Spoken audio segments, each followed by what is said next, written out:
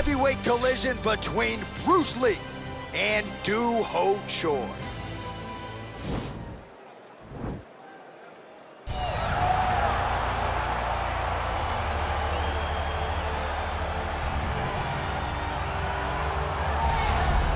Is, for my money, Mike, the most well-rounded fighter in this division, a true mixed martial artist at his core, and he believes he'll have a lot of advantages in this matchup. tonight. Everyone talked about him being well-rounded.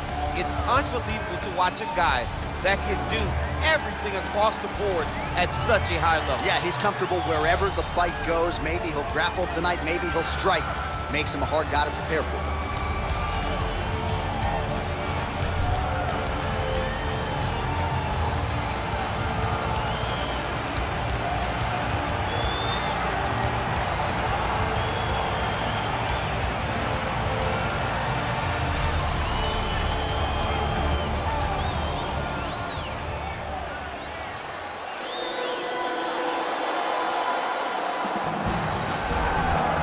This is exciting here, DC. The founder of Jeet Kune Do, one of the founding fathers, really, of mixed martial arts, Bruce Lee, is back in a big spot here tonight. Bruce Lee is what every kid looked to when they thought about doing karate.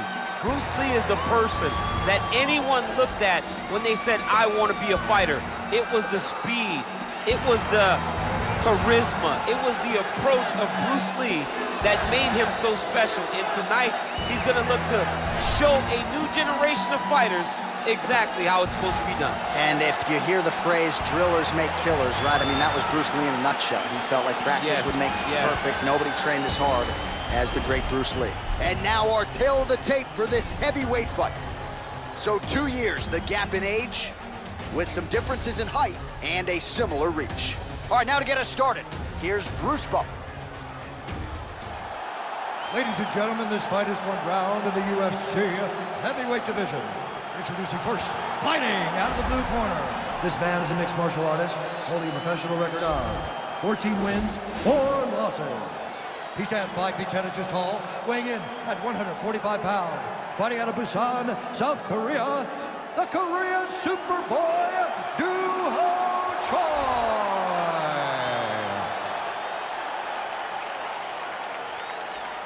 And now introducing his opponent, fighting out of the red corner.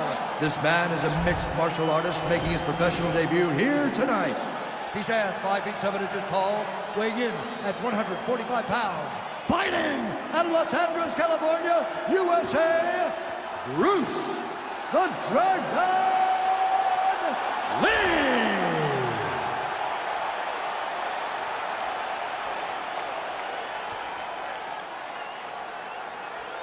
And when the action begins, our referee in charge, Ben Miragliotta.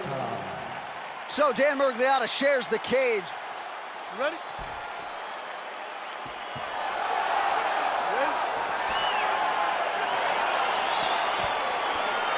All right, so here we are in Las Vegas, Nevada at the T-Mobile Arena. It's hard to believe this venue hasn't even been open five years when you think about all the big events it has Conor versus Khabib. You beat Stipe to become the double champ inside these very walls. You getting chills being back tonight, champ. I'm getting chills being back at the T-Mobile Arena. I love this venue. And I'm going to tell you one last thing before the fight night starts. After you're done, take a walk outside and take a gander at the side of the building. You can see your boy DC prominent prominent of high in the rafters holding up those two titles. Oh. What a great arena, the T-Mobile Arena. And that Vegas air feels like Oh. a hair dryer in your face. It's so hot. What a punch. Big right hook coming, it's blocked. You don't know when that leg kick's coming. Just missed with the left there. Single collar tie now. Big straight left.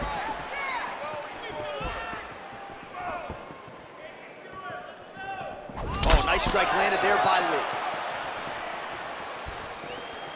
Pretty good right hand.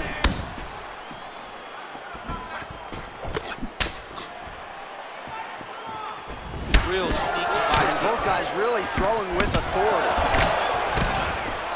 Well, a lot of people think he might have the best jab in this division, certainly using it effectively here. I mean, one of the best jabs in the world across all combat sports. The way that it just comes out, it's beautiful. The backside hand is always at the chin. The elbows touch to the ribs. The jab goes out. The jab comes right back to the face. It's picture-perfect technique, almost like a Tae Bo class or something like that. Big punch land. Ooh. That right hand landed.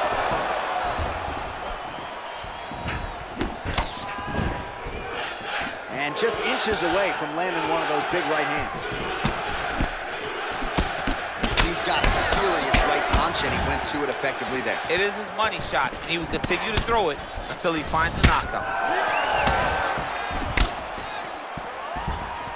All right, so a nice job there defensively to raise the guard and prevent any damage. Those hands never leave where they're supposed to be, and if you do that, most times you will block the shot that's incoming. Great punch. Right, so he continues to land that jab. His opponent said he was ready for it, but doesn't appear to be. You're not ready until you're in there. You can watch all the film you want. You can spar as much as you want, but until you feel a guy with a fast jab like this, you don't understand the precision of that punch. Oh, he's hurt bad. He's hurt bad now. He's got to press it. He's got to go chase that finish down now.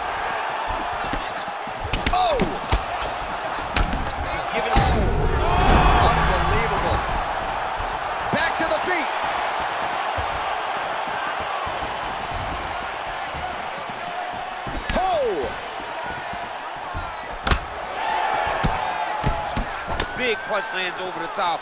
How's he to follow this one? Got the single collar tie.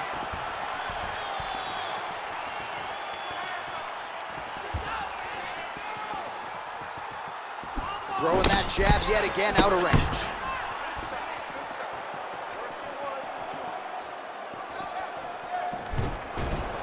Blocks the shot.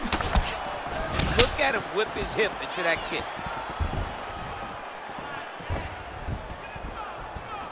Clipped him with the right hand there.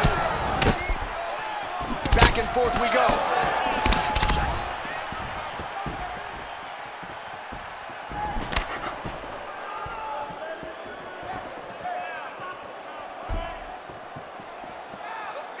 Big, powerful punch lands. Now he gets back to range.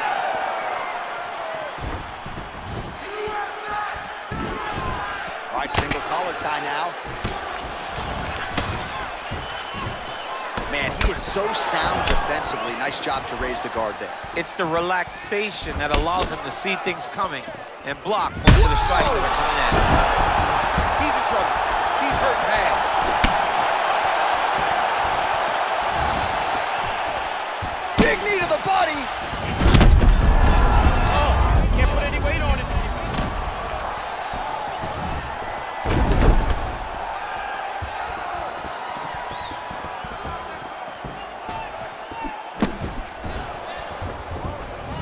Really starting to put together some significant body shots here. These are going to take their toll as this fight goes on. Huge damage from that elbow. That was a thudding leg kick. Oh, is that a big knee to the body? We'll see if he can follow up. Oh, straight right.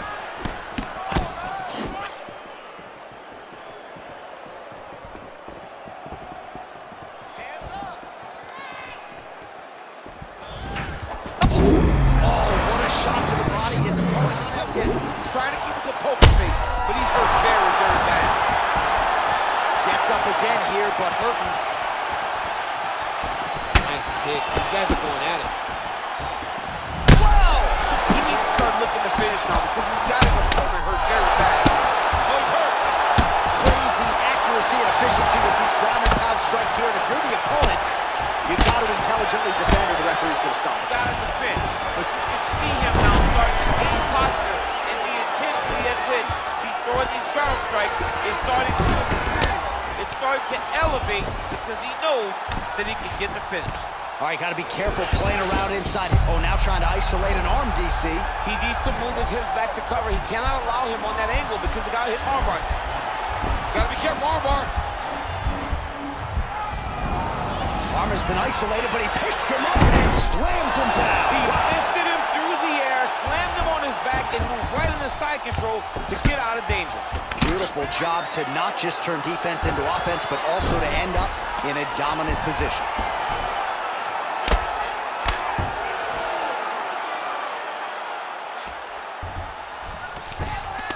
All right, half guard position here, DC. You have an extra hop in your step when you talk about fighters working out of this half guard. Oh, man. I like half guard as a top fighter. I understand half guard as a bottom fighter. Don't want to be there. It's right. very dangerous. But if you are there, you have to be winning the position of the underhook. It opens up so many opportunities for you to either escape or sweep. Oh, now trying to isolate an arm, DC. He needs to move his hips back to cover. He cannot allow him on that angle. Oh, wow. Oh! There it is. He's on the armbar now.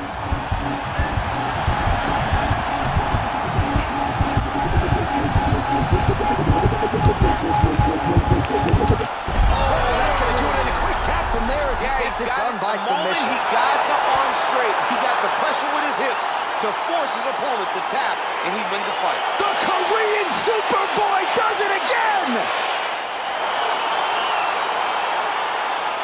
Well, let's take a look back at the replay as he gets it done by submission tonight, champ. He was able to get the fight to the ground exactly where he wanted it. Eventually, his opponent gave him an opportunity to get a submission. He did that, and he should be very proud of the work he did tonight in the octagon.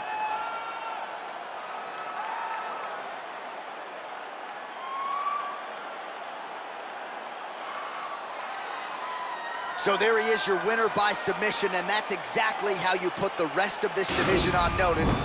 Looks like this guy could be a factor moving forward in this division. Ladies and gentlemen, the referee has called a stop to this contest, declaring the winner by tap out, the